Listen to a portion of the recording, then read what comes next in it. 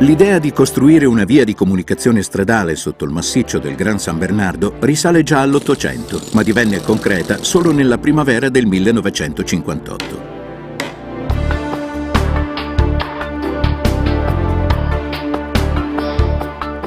Dopo un'accurata progettazione, le attività dei due cantieri presero il via. Furono organizzate numerose squadre di lavoro, composte da tecnici e operai.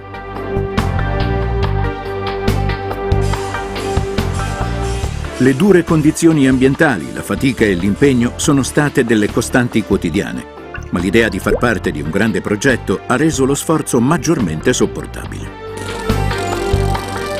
Finalmente, il 5 aprile 1962, l'ultimo diaframma che separa l'Italia dalla Svizzera cade. I due cantieri si incontrano.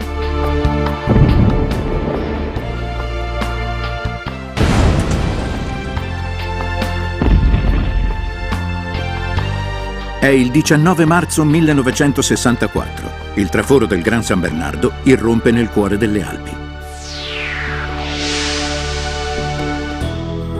Il tunnel rappresenta il primo traforo stradale alpino. Con la sua lunghezza di 5.798 metri collega la regione italiana della Valle d'Aosta con quella svizzera del Vallese.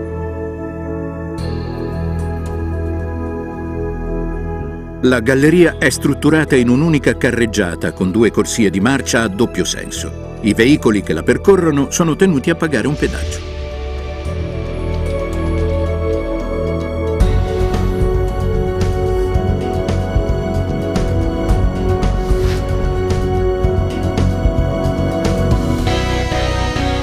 Grazie alla posizione strategica del traforo del Gran San Bernardo, le città europee del nord sono più vicine.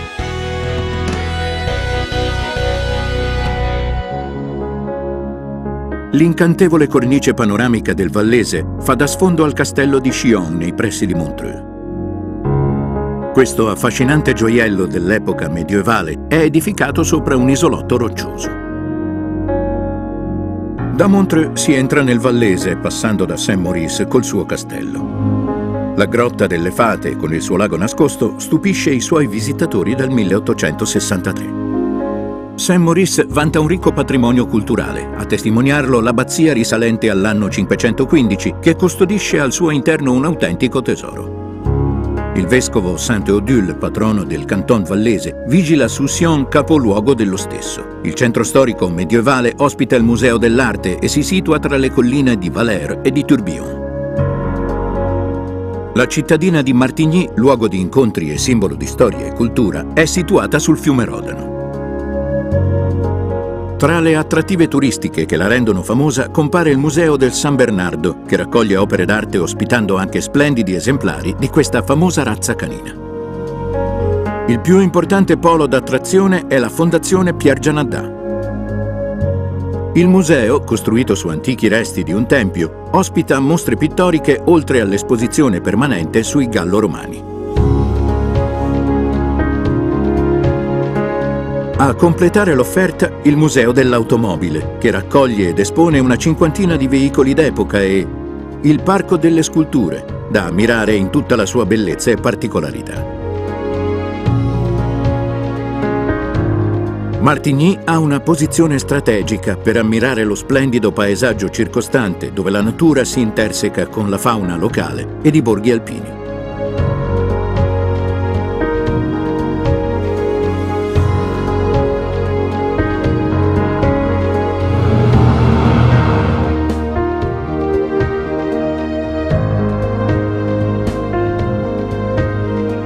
Il viaggio per rientrare al traforo del Gran San Bernardo non può che concludersi assaporando le delizie della cucina del Vallese.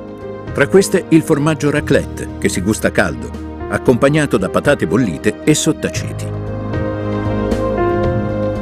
Il tutto valorizzato dal famoso vino vallese Fondant e dai digestivi locali.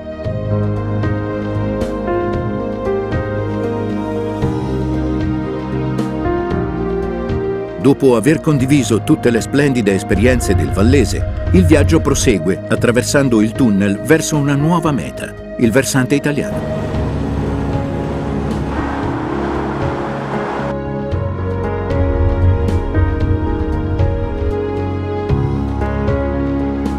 bonjour. Allez, les retours Aller-retour, s'il vous plaît. Voilà, merci bien. Merci, bonne journée, bon courage, au revoir.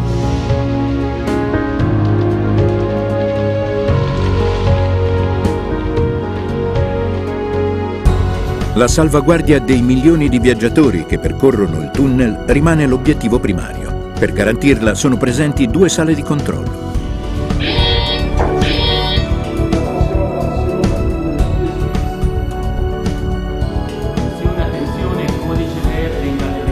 Gli addetti alla sicurezza, attraverso monitor che riprendono ogni metro della galleria, possono verificare ogni inconveniente ed allertare tempestivamente le squadre di soccorso. Il tunnel dispone di modernissimi veicoli antincendio, tra cui quello dotato di un dispositivo di rotazione posto sotto il telaio. È in costruzione una galleria di sicurezza e servizio che affiancherà la galleria stradale esistente.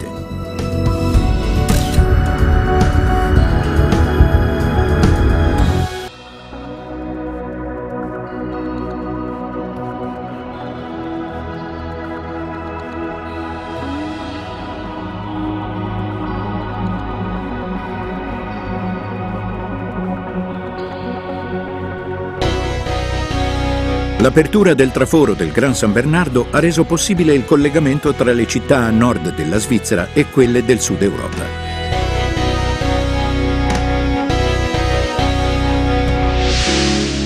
Prima della sua costruzione, l'unico modo per oltrepassare il confine italo-svizzero era percorrendo solo nei mesi estivi il passo del Gran San Bernardo, dove si trova il famoso ospizio. Il paesaggio che il visitatore si trova di fronte all'uscita del settore valdostano è quello delle montagne imponenti che fanno da sfondo a piccoli paesini alpini immersi nella natura circostante.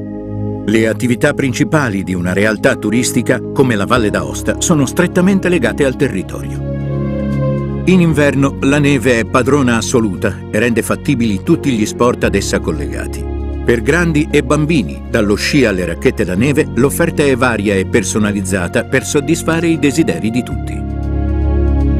La tradizione del termalismo valdostano e vallesano ha origini lontane. Godere dei benefici delle acque di sorgente nel più completo relax ha da sempre suscitato grande interesse. Il capoluogo Aosta conserva le sue origini storiche esibendo vicino ad attrattive di più recente costruzione monumenti d'epoca romana. Il teatro romano, le porte pretoriane, la collegiata di Sant'Orso e l'Arco d'Augusto sono meta in ogni periodo dell'anno di numerosi visitatori. Una delle maggiori e più conosciute attrazioni è rappresentata dai castelli che decorano la Valle d'Aosta in tutto il territorio. Tra questi riscuote grande interesse turistico il Forte di Bard, che grazie al suo famoso e spettacolare Museo delle Alpi permette al visitatore di ogni età di intraprendere un viaggio unico e ricco di emozioni, prima di lasciare la regione valdostana.